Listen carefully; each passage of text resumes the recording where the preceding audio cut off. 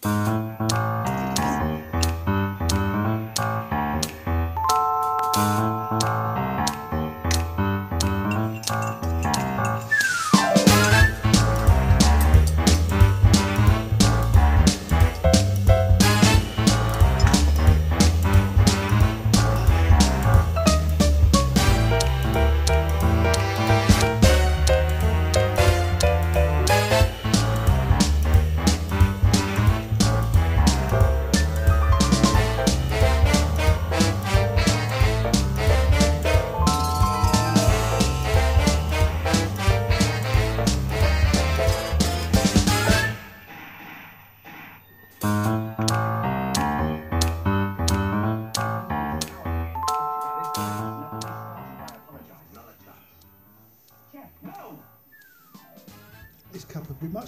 it had something on it.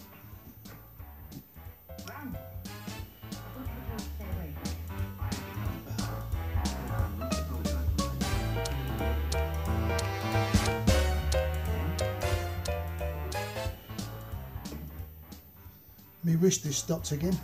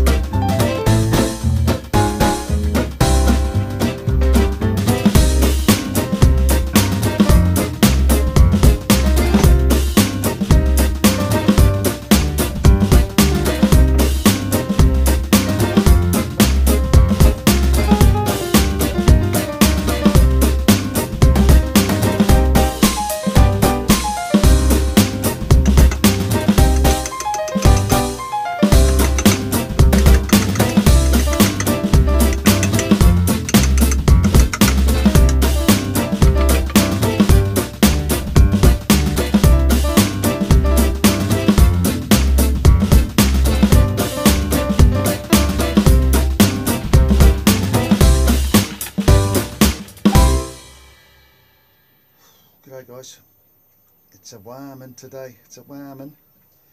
Right, we have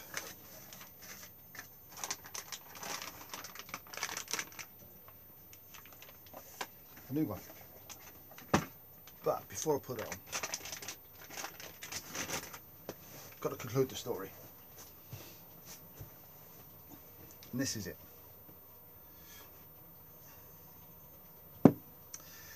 Got to Calais and I couldn't keep the bike running at Calais. Um, it just wasn't possible because you, you can't keep it running for that long without causing some damage to the engine. Um, in my opinion. So I went in and I, remember I hadn't bought a ticket so I just turned up and bought a ticket there which worked out cheaper than, than when I looked online for some peculiar reason. Don't know.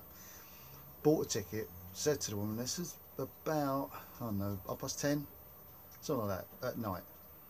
Um, said to the woman, when's the next ferry? She said, the next P&O ferry was quarter past four in the morning. That'd be six hours away. Or there's one at one o'clock a.m. I said, I'll have that one then. So I sat there for a bit and I said, um, I said to one behind the, the counter, I said, have you got any jump leads? My bike's just stopped. She said, you are joking because you're not allowed to be on the ferry with a broken motorcycle. I said, I'm only kidding with you. I'm only joking.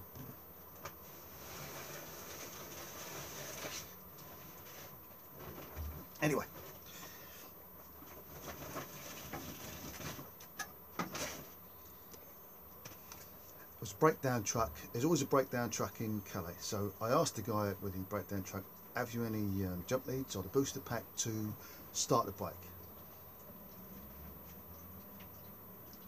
Yes, he said. Yes. I said, well, don't need it yet. Be over in a minute. Went back into the check-in woman about uh, quarter past 11, something like that. I said, what time do you want me on the on the jetty, on the boat? She said, now, because the next ferry was quarter past four, there was a queue a mile long to get through the passport and all that. Back over to the breakdown guy. I said, have you got the uh, jump leads? He went, oh, he said, I'm not the breakdown guy. He said, you want to speak to that man over there? Now, that man over there was surrounded by police. Don't know why. Didn't ask, don't speak French. Went over to him and I said, excuse me, I said, have you got cables to jump leads? He went, no. And he laughed. It was kind of like a, a no. You're broke down, I'm not helping you. Nah, nah, nah, nah. My immediate thought was, bastard. But he was surrounded by police. I said to the French copper, I said, have you got any jump leads in the back of your car? He said, I'm a policeman, not a breakdown bloke. Can't argue with that.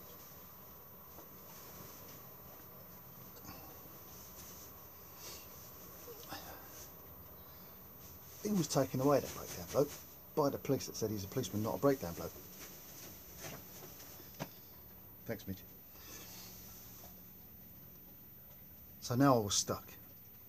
Another break. I mean, at Calais, they're, they're like a revolving. It's like a revolving thing with breakdown trucks because so many people there, so many people break down every hour, every minute, sort of thing.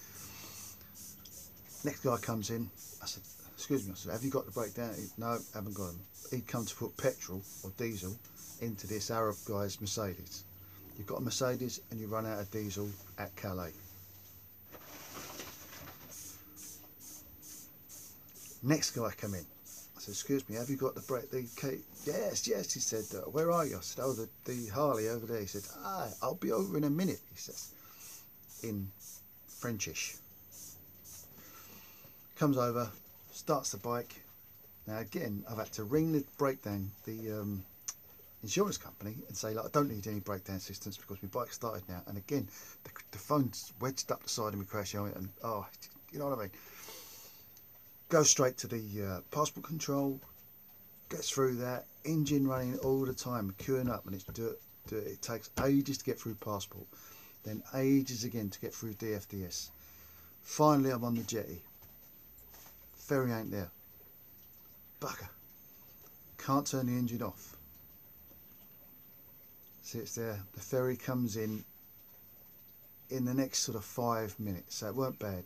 And usually, the ferry comes in ramps go down and you're on. It all takes about 10 minutes. Yeah, by the time the others have left the ferry and all that. Um, this time it didn't. Ferry comes in, the ramps didn't go down. They stayed up for about 10 minutes. No traffic came off, nothing went on. It was it was getting to be a silly silly exercise. In the end, ramps go down, traffic comes off, and I ride on and I ride on, I ride straight into, they've got like a, a, clamp now for your front wheel and they bolt your bike down from two points. So it takes three of you now to bolt your bike down. Used to only take one person, you. Now it takes three of you to bolt one bike down. Ridiculous. A minute.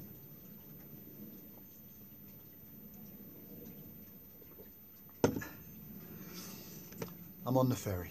Relax. Go to sleep. I, I found myself a lot, quite a little nookie hole. Went to sleep for an hour. Lovely. Must have been, it must have been the Muslim Express because everybody on that boat either had a headscarf on or they had 16 kids with headscarves. It was it was one of them kind of boats, and I, I don't know whether they think it was cheaper of a night time. I just don't know. Anyway, gets to Dover and I know my bike won't start, but I know they've got a booster pack on the boat. Guys come over to me and says, hey, start your bike. I went, no. I said, I must have left the radio on.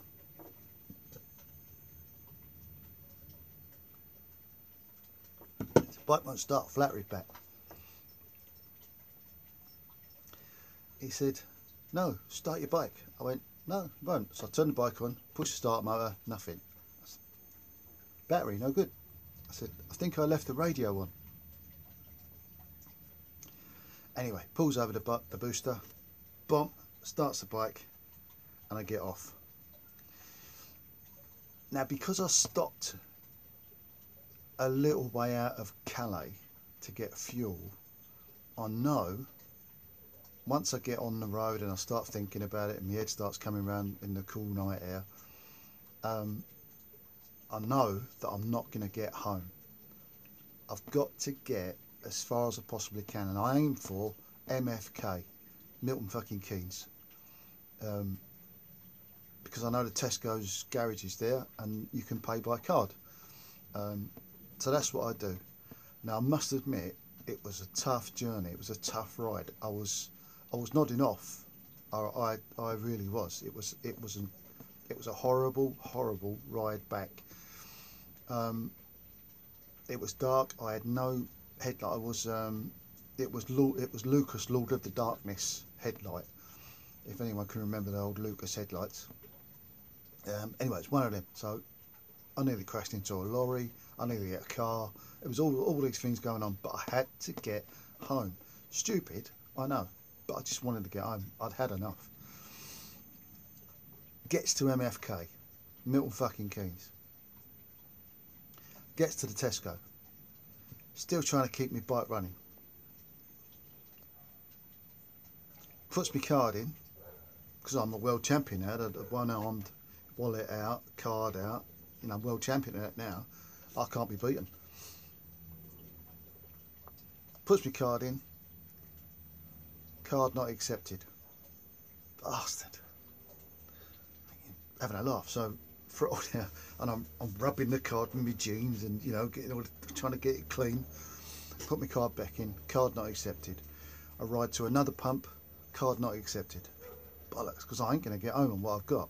I've done 100 and I think I've done 160 miles, 165 miles by that point, and the, the fuel gauge you know, it's pretty good. It's not bad, and it was near the E mark, and I thought I just ain't gonna get home. Um, I didn't want to take a chance on. My thought process was, all right, I might be able to get home, but is it worth breaking down two miles from home? Is it worth breaking down five miles from home? Um, because to where I live, it, it's a lot of country lanes, kind of it's the A509, but at night it might as well be in the middle of nowhere, um, or in the morning, as it is. Um, it was about half past four in the morning when I got to MFK.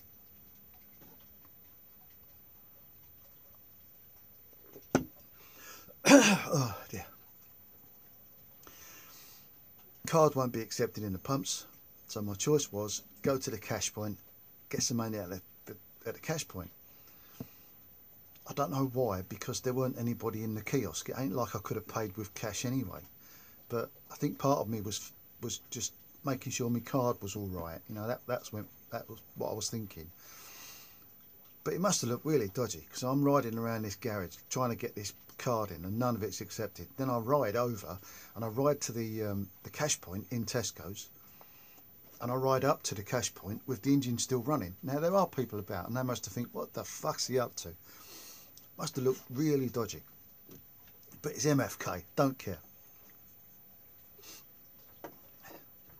Gets £10 out. Quick idea, go back to the garage. I know there are people that go through that garage in the morning because I used to go to work at that time in the morning and people were in that garage. Uh, I used to work near uh, well, in, in MFK, but down the road from Tesco's. Pulls up at the garage. Luckily, there's a bloke on the pump that I was at. He's got a little KA, but he's putting petrol in. Good start. Said to him, Excuse me, mate. I said, if I give you this tenner, because I've still got the tenner in my hand. Uh, I said, if I'll give you this tenner, will you put £10 in my bike, please? I said, it wouldn't take me card. Yes, mate. He said, not a problem. So that's what he's done. Proceeded to do And all the time, the engine's running. I said to him, I can't turn the engine off. I said, got, I've got dead battery. Anyway, So he done that, got me turn her in. I said, ridiculous, isn't it? I said, I drove all that way and all I've got to go is like 15 miles up the road, Irchester. He went, I live in Irchester. I thought, well, small world. Anyway, gets to fuel, gets back on the road. As I got to pull out the garage, the engine cut out. Now I was moving. I wasn't moving very fast, but I was moving. So I just let the clutch out, pulled the clutch in, and let the clutch out, and it started. Unbelievable. And that was it. I was on my way home. About 20 minutes later, I was pulling up. Ed Shed had my bike in again. Ed was back in Ed Shed. And that, my friends, is the conclusion of the story of the journey home from where I was. four goes, but I finally got there. there. There's, there's lots of morals to this story. There's lots of morals to part one, two, three, and four. Um, there's lots of lessons to be learnt, and with a bit of luck, I'd have remembered some of them. not, not many. uh, yeah. Uh, I didn't get one done yesterday, like I promised. Said yesterday, blah, blah, blah, but I had um, lots to do in the morning and like getting me bit. Um, and I had a wedding to go to in the afternoon, evening. So last night I was at a wedding, getting pleasantly sloshed, um, which was very good. People were buying me drinks left, right, and centre, and I appreciate that. Thank you very much. None of them watching this, so there you go. But thanks anyway. Um, Right, hi to the guys in America. I know you're watching Toots. How you doing? I hope you're all well. Um, hi to you guys out there. Thanks for watching, and I'll be back with the usual Fred, the Fred Shed stuff um, later on. I've done four of these in a quick succession. It'll probably be next week or during this week that I'll do another Red Shed but I'm going to try and do this regularly now. I've got to make more effort. That's what it is. I've got to make more effort to put these videos out because I do like doing them and apparently you like watching them. So there you go. So, it's it. Happy Sunday. It's a Sunday afternoon here. It is, do you know what? This bloody thing, it's never worked. Um, and I'll be back with you soon. I hope you enjoyed the story, boys. See you later.